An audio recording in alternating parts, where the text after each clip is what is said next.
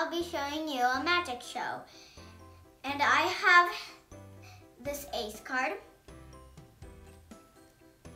And here I have this set seven card. Flip it over again. Now let's put it there. Let's make it straight. And I'm going to put the card somewhere in the middle or under, but I am,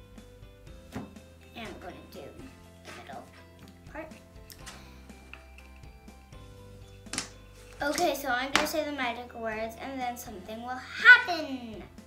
Abracadabra. The ace card is back. Give me a thumbs up if you like it and press the subscribe button.